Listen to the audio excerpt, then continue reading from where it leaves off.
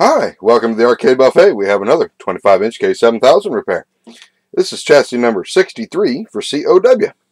Not too terribly hard to repair on this one. Put a cap kit on it, flyback, reflow, and trace repair and reinforcement where needed.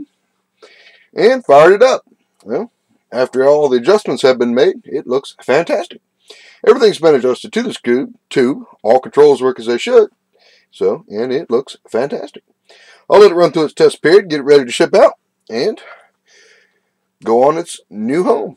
So if you have any questions or comments, please leave them at the bottom of this video or shoot me an email at thearcadebuffet at gmail.com or visit my site, thearcadebuffet.com. Thanks and see you soon.